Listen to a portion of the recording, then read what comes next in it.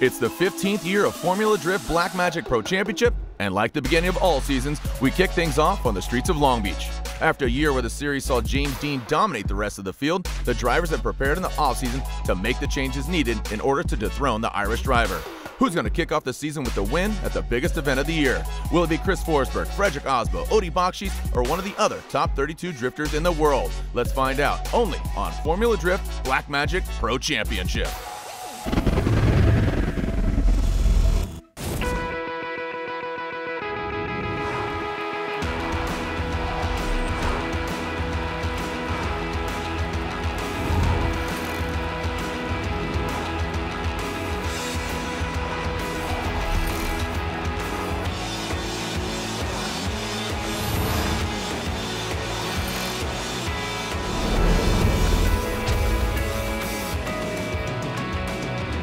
Hello, Drift fans, and welcome to the streets of Long Beach for round one of the Formula Drift Black Magic Pro Championship. I'm Jared DeAnda. Well, we're not only kicking off another season, but we're celebrating 15 years of Formula Drift competition. Familiar faces, new cars, same great action, and of course, the very unforgiving walls. Well, our number one qualifier, Peter Wiecek, who is the most recent victor from Irwindale last year. And then number two, defending champion, his teammate, Worthouse Drift Team Falken Tire driver, James Deane. But there's a lot of familiar faces that are in the top 16 already. Vaughn Gittin Jr., Fredric Aasbø, Odi Bakchis, the list goes on and on. But before we go to head-to-head top 16 action, I throw it down to my co-host, my main man, Ryan Sage.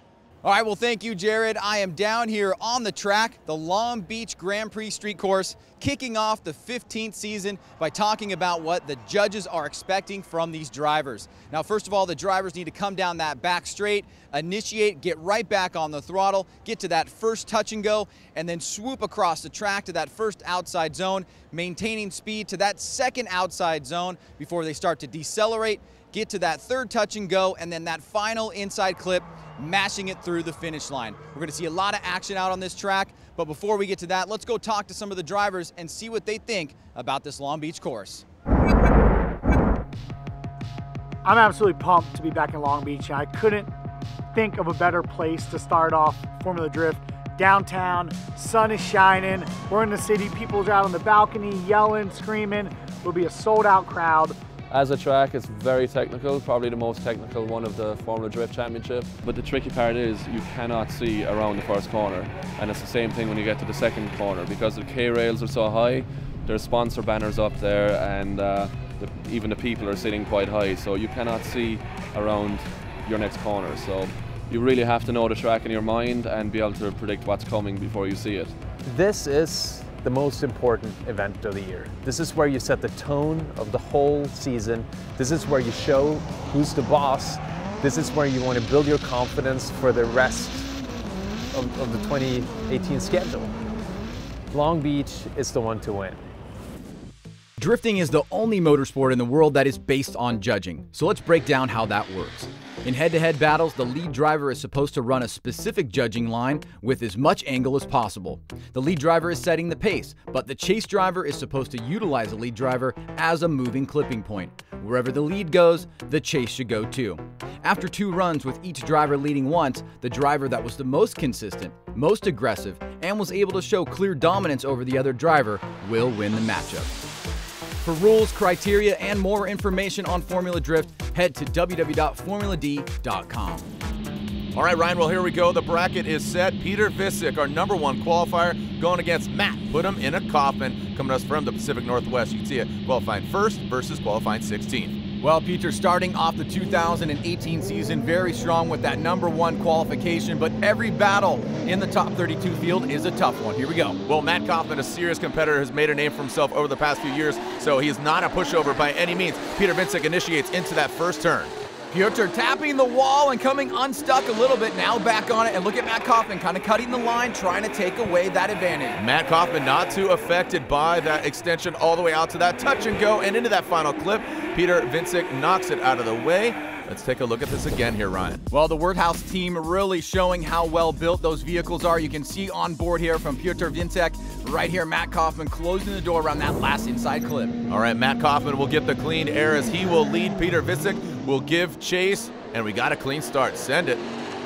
Nice initiation here by Matt Coffman now coming into this first touch and go. Let's see how Peter attacks. Nice job by Coffman getting all the way out there to touch and go. Transitions back, doesn't get all the way to outside zone, but now bringing it out about a half a car length off that second outer zone. Great proximity here by Pietro, closing the door through this last inside clip, and now the judges have seen both runs. The judges digesting both runs, a bird's eye view on a beautiful day, the making of a great event. Who's going to be the first victor to advance on into the Great Eight?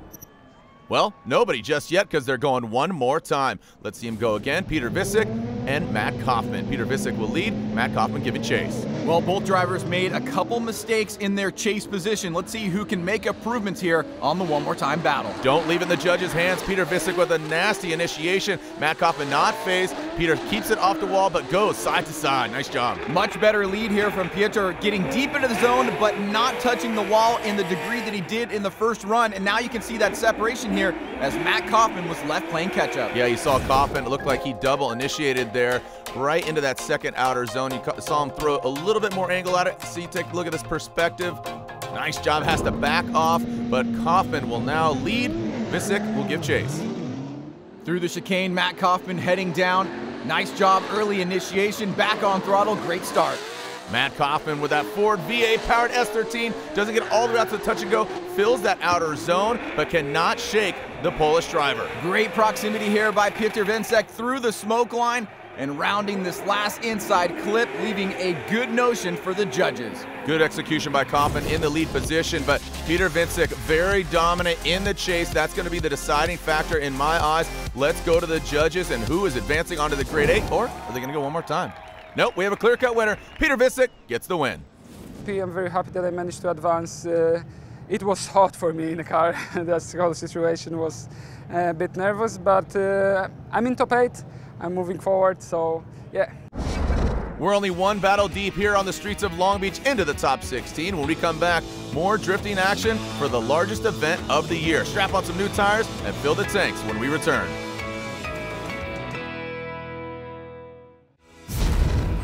Formula Drift on CBS Sports Network is sponsored by Black Magic. Own your shine. By Air Force. Aim high. And by the Formula Drift app. Download the FD app in the iOS or Android store now. Welcome back, Drift fans. We have a packed house here just in the shadow of the arena here. So much history here on the streets of Long Beach, but Formula Drift entering our 15th season and two veterans of the sport, Daijiro Yoshihara versus Ryan Tuerck. Both drivers having solid 2017 seasons with Daijiro Yoshihara coming off a second place finish at the final event at Irwindale Speedway. Ryan Tuerck will lead. He's in that 2JZ powered Toyota Racing 86 and Dai Yoshihara in the turbocharged V8 BRZ. Nice initiation there by Tuerck, getting right back on throttle, but missing that touch and go. Better job on that second outside zone, but right there, Dai getting loose in the chase position. Dai Yoshihara very shallow on the transition, cuts through the smoke. Looks like he does gain some ground, but he takes the clipping point with him. Well, you can see a little bit of struggling in the chase position for Daijiro Yoshihara coming through that outside zone there and then trying to fight his way through the smoke line against Ryan Tuerck. Let's change up the order. Dai Yoshihara will now lead Ryan Tuerck giving chase. I have to say the needle is going the direction of Ryan Tuerck as far as advantage. Dai through the chicane, heading down into initiation, back on throttle quickly there. Ryan Tuerck trying not to let him get away as Dai reaches out to that touch and go. Dai gets out to touch and go, and then he counters back, but Ryan Tuerck is right in the shadow of the Turn 14 distribution Falken Tire Subaru. Great lead run here by Daijiro Yoshihara, but you can see that Ryan Tuerck has a lot of grip in his vehicle, and he's able to stay pretty door to door with Daijiro Yoshihara. All right, so there are the two runs, and now next, the judge's verdict. Who's moving on? Ryan Tuerck unanimously gets the win. It feels awesome, man. It's uh, it's you know it's really heartbreaking if you go on 32 or, or 16 here at the first round. It kind of hurts your points a little bit. Uh, so being at the top eight, you know you're in the hunt, and um, we're ready to move on now. We want some podium. We want some champagne. It's an all Falken tire battle. Justin Pawlak, who, Ryan, you talk about it. Justin Pawlak looking and feeling a lot more comfortable in this vehicle. And Odi Bakchis back in the old faithful S chassis, but changed up the looks a little bit. Here we go JTP versus Odi Bakchis. Well, you can see the comfort level of JTP by this initiation here. Very smooth and fluid. He's back on throttle quickly, trying to get out to that touch and go, but comes up a little bit short, and now touching the wall. Well done, but Odi Bakchis not shaking at all. His chase game has just quickly become some of the best in the Formula Drift paddock. Both of these drivers used their last year experience to really make minor changes to the vehicle to get the best out of their performance, and you're seeing that manifest right here with these two Falken drivers. Yeah, these both these drivers have really just stepped up their games and, and having that equity in their vehicles, you could see that level of comfort. Here we go, Odie out front, JTP in the chase position. Initiating together, back on throttle is Odie Bakchis coming a little bit with big angle here and now cannot hold it and JTP flies on through. It'll be an incomplete for Odie. Odie unfortunately loops it there. JTP just going through the rest of the course. He does not need to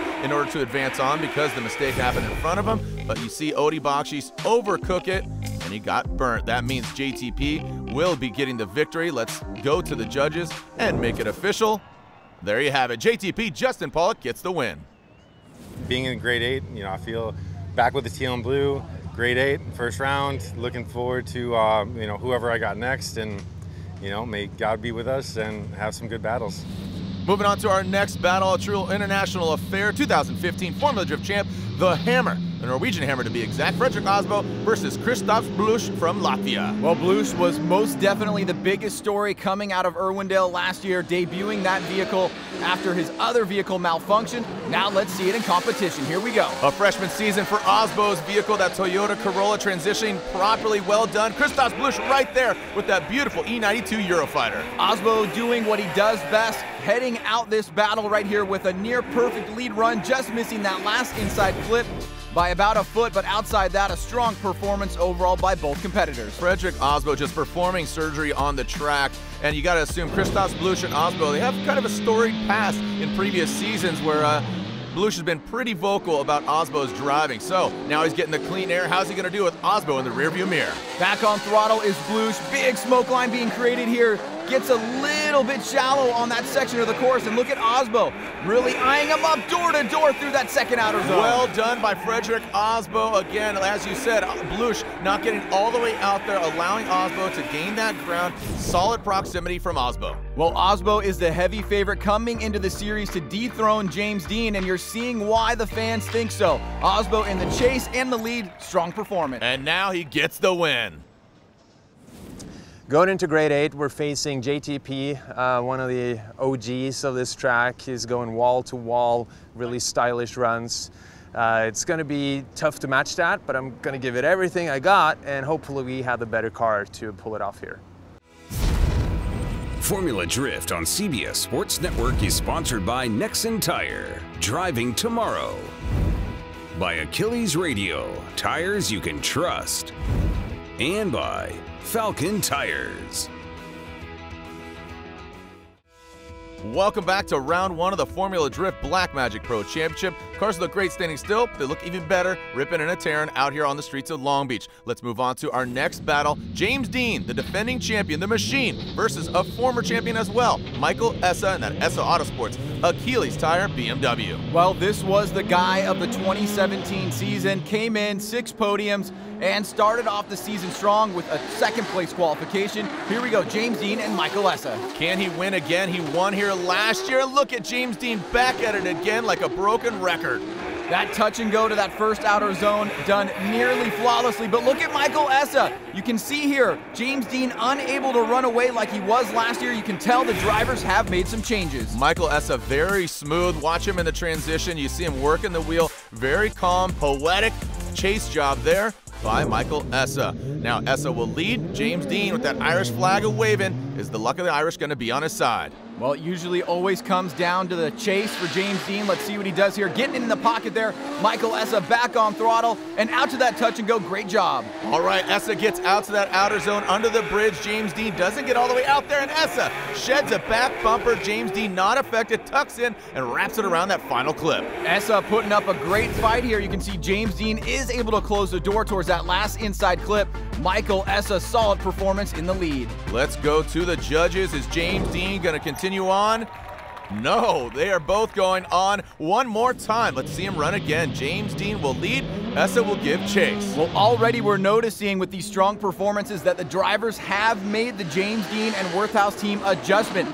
We can see here as James Deane initiates, he gets out to the touch and go.